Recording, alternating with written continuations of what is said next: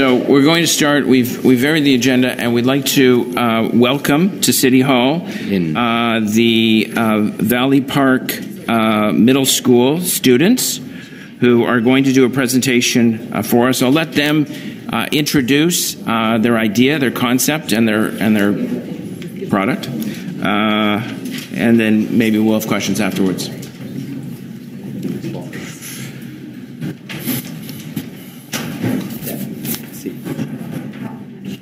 if you want.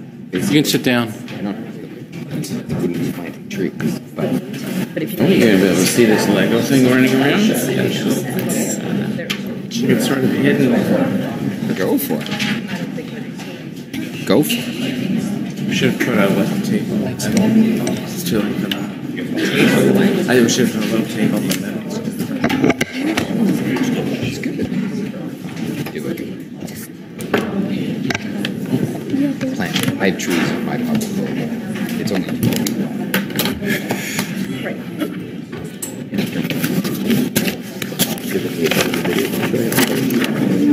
Okay, there you go. No, where are you going right now? I know.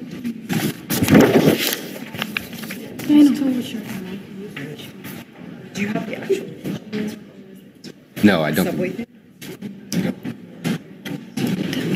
Whenever, whenever you're ready, we're all set there. I hope the microphones are on, and you can present your idea and then show us how it works.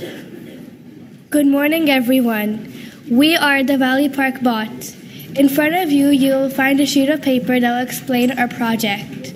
For our project presentation, we'd like to tell you about our pothole control system and how it could save the City of Toronto about $1 million per year. The city spends about $5 million per year fixing about 200,000 potholes. Our system will provide a better way to find the potholes, will decide which potholes to fix, and will schedule the repairs. Today, the city um, relies on people calling 311 to report a pothole. A city employee answers the phone call and enters a location and description into a computer. This is costly and assumes that people will actually take the trouble to call 311. We propose adding a small electronic device to all police cars and city vehicles, which will detect big potholes and, set, and automatically send the GPS location and severity of the bump to the city computer server. This will be much more effective than 311 phone calls and manual data entries. The pothole detecting device will consist of a small computer like an Arduino, a gyro sensor, a GPS receiver, and a cell phone transmitter. It would be about the size of a deck of cards and would get power from the car battery. Bumps in the road will be logged with date, time, GPS location, and bump severity. At the end of each day, the device will send a summary of the worst potholes to the city. Our device would cost $40 each with a $75 installation cost. To equip 5,000 police and city vehicles, total investment would be about $500,000. Every night, the city will receive information about thousands of potholes. The city computers will send these by GPS locations to count how many times each pothole was hit. It will then be sorted by severity to discover the worst potholes. Only the worst potholes that have been hit the most often will be scheduled for repair. They will be organized into repair areas as well. Each repair area of the city will have a set of potholes to repair. The city computer will be able to estimate the travel time between potholes between each pothole by using GPS data. The computer will then be able to estimate optimize the travel time between potholes so that the most potholes may be fixed in a day. This automatically created repair schedule should save many hours of supervision time and will increase the number of potholes fixed by reducing travel time and unnecessary repairs. Every day, the City of Toronto will send thousands of bump locations to the nearest maintenance yard. The city computers will sort, will sort the data by location and severity of the pothole, and which maintenance yard the data should be sent to. Now, the city will know where the most, the most severe and most often hit potholes are.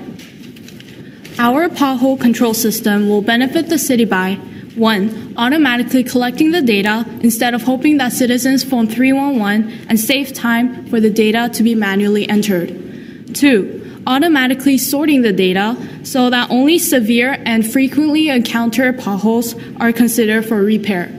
Three, optimizing the repair scheduling to reduce supervision time and travel time between repair locations. If these benefit the city by 20%, that will turn into $1 million per year. We developed a mock up car with a pothole detection device using a simple Mindstorms robot and a gyro sensor. The robot, will tra- the robot travels in a straight line for 3 meters and stores the distance traveled and gyro sensor data. After collecting the data, we import the data and the, we import the distance and gyro numbers into an Excel spreadsheet and display the bump data on a graph. So th- this is the data after we import.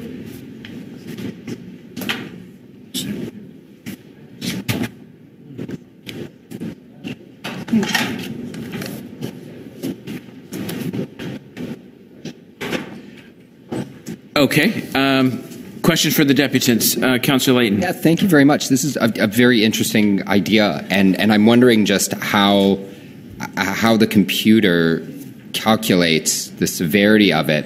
Um, have you factored in how fast the car is moving uh, when it hits a, a, a bump? You know, when you're when you're driving in a car and you're you're going really slow, the bump may have a certain level of severity, uh, but if you're going really fast, it may be it may be different. Kind of like speed bumps. The whole purpose. Hey, I hope so. Well, for um, the speed bumps, we would have a GPS receiver, so all the GPS locations would be Of the speed bumps. um, stored. So we would filter out that data, so we wouldn't need those speed bumps trying to confuse us with the potholes. So those that will be filtered, and we'll be left with um, just these this data. So you can see how deep the pothole is, or how big it is, and how severe it would be. Okay, thank you. Any other questions for the presenters? So you're do, you're in a competition, yes? Yes. You want? Did you win one competition first? What, comp, what competition did you win first? First, Excuse me? First, first Lego League. And you're going to another another competition? Yeah, provincial championships in Oshawa. Oh, okay, very good.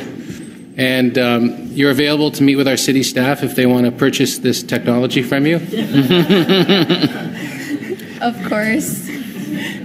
Excellent. And um, I just want to comment. I think it's great. There are no boys on your team. No. We are a girls only team. Oh, girls only team. Excellent. Very good. And so I, I, I'm, I'm just curious. Um, you, how, how did you pick this problem to solve? Because potholes, like for us, we deal with this, especially in the springtime. It's a big issue for us. But how did you come to pick this um, problem to solve? So um, we obviously wouldn't know the damage potholes could cause because we don't drive, but we know that it's a big issue. When we were asked to consider a real big issue that's happening in cities, first thing we thought was maybe potholes because the amount of damage, the amount of money you have to pay for that damage that can cause to your car is a lot. And so we thought even this um, 311 system isn't very effective because you would get um, opinions about the pothole. So let's say if the pothole is fairly small, but someone would exaggerate it to be a really severe pothole, so you wouldn't get accurate data as you would if you were using this system. So you think that our roads are in pretty bad shape and they need some improvement? Yes. Yes? Okay, very good. Thanks for coming. Thank you. Jay? Oh, any other? Oh, here we go. Is this okay? Thank you. Oh, thank you very much. We'll give this to the clerk. We'll circulate it. Uh, any other questions for the presenters? Oops. No. Anyway, um. Oh, uh, Councillor Perruzza.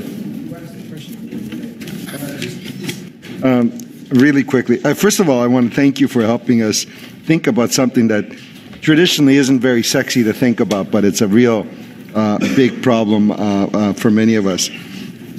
And uh, and um, and thank you for for thinking about how we might be able to, uh, in a more efficient way, uh, figure out where those potholes uh, uh, are. So we have two problems, right? You, you've thought about one of the one one uh, side of that of that problem. That's where are the potholes? How big are they? Uh, how deep are they? How damaging um, they they might be? So how do we uh, figure out where those are uh, uh, more quickly? The other side of the the problem is actually having the resources to fill them in. Like we only have like I don't know 21 or 24 hot boxes. Uh, that's like these things that contain asphalt. So there's only uh, you know 21 of these vehicles, or or at, at at, at at sort of you know when we do our blitzes, the maximum you're going to have out there is 21 of these boxes with asphalt. So you can only do so many a day. So if you're getting 500,000 potholes or, or, or, you know, a million potholes, I don't know what the number is, uh, you can only like fill a small like uh, portion of them. So we, we, you need to help us think about that as well. Okay, so not only do we need to figure out how to identify them, but then we need to figure out how to actually deal with them and fix them, right? So, since we have limited resources, I think uh, we thought it would be better if we would use those resources on the potholes that are most severe. So, even if if we're filling those small ones that aren't causing that much damage to cars and aren't frequently hit, then there is no point in um, filling them and wasting our resources. So maybe we should try to use our resources for the most severe ones, the most important ones that we should take care of. That's very good advice. Thank you. Thank you, uh, Councillor Perez. Any other questions for the presenters?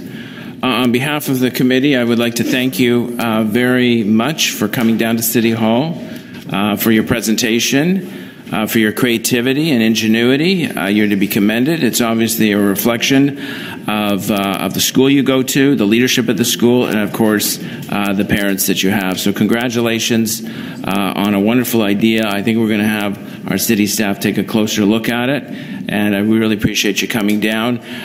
we'd be happy to do a, a group group photo with committee members um, and your team if you're willing, and we can do that right now.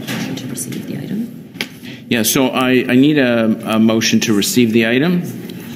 Deputy Mayor Minnan-Wong, all those in favor? Opposed? That is carried. And uh, in just a couple of minutes, we will go to the um, pause presentation, another school group.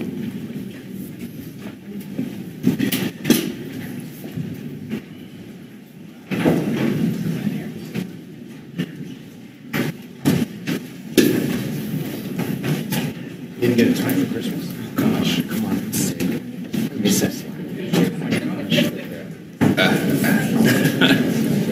Francis, come on in the picture. You're here. Come on. Don't be shy.